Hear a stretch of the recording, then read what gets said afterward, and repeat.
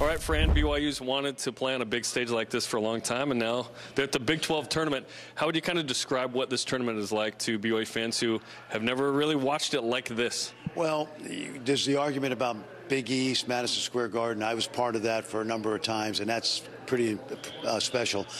But Kansas City is, uh, it's really like a mini Final Four. It really is. When you come down to the Power and Light District, you'll see it, Jeremy, this next couple days. Um, the fan bases are phenomenal. The, the, games, by and large, are sellouts.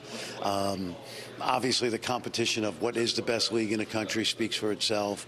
And uh, Kansas City is a great location. It really is. I think, and obviously, it's going to be here till 31. And the reason it's going to be here till 31 is it just just has great support. There's a great vibe. It's a basketball town for a week, and uh, BYU fans are going to see it, and they love basketball, so they're going to fit right in. BYU fans feel like they know the guy that runs the town, Andy Reid, too, yeah, which is yeah, a Coug, so it's kind of a fun vibe that way. Exactly. Um, in terms of, of this tournament specifically, it's interesting because Houston comes in as the one. They're the number one team in the country. Kansas, McCullar not going to play. Dickinson not going to play. But Kansas shows up at this. Iowa State excited. Yeah. What's your vibe of kind of who's the favorite here and what could go down? You know, I was looking at the uh, the bracket and I was thinking of all the second round games today, and I'm like, this, these would be quarterfinal games in a given year. And then quarterfinal games tomorrow are going to be incredible.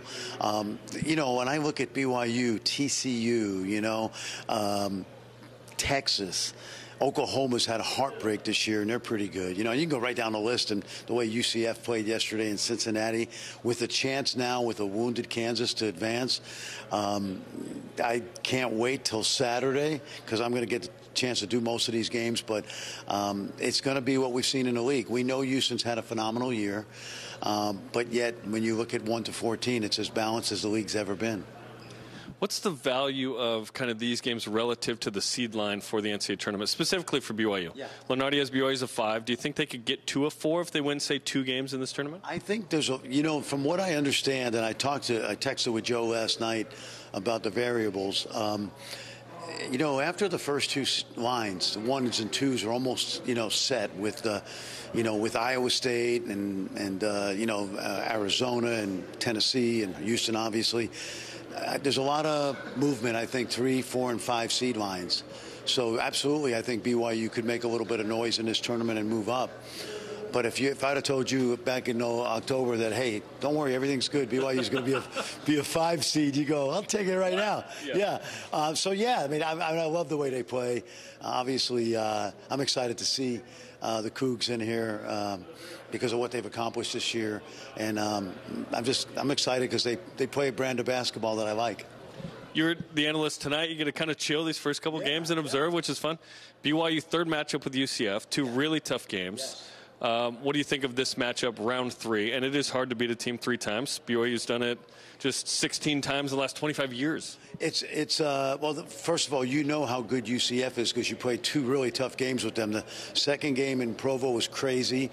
The first one was a great road win. It might have been the first road win of the season for for the Cougs in the league. And so, uh, and then we watched them yesterday. I did the game, and they're very athletic, very good defensively. Um, the key, I think, for the Cougs is uh, that they probably score a little better than UCF. Uh, so making threes, as you know, I don't have to tell you, making threes is a good formula, and uh, certainly that's probably a key today. But I would expect a dogfight and uh, a really good test for for BYU.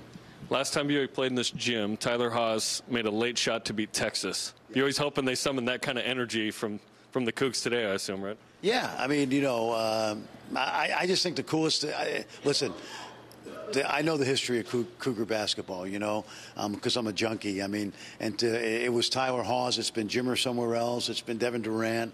Um, to see these guys make their own history today and now going forward in the Big 12, I'm really excited about. And we've already worked with our uh, people back in Bristol. We will be in Provo next year. I promise you. I have to. I have to get to Provo. I can't wait. You have to. Absolutely. Yeah. Can't wait. Go.